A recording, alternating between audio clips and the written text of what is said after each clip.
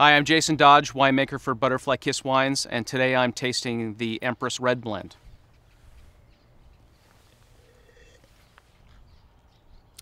On the nose, I get a big pop of fresh red berries, a little bit of spice from the oak.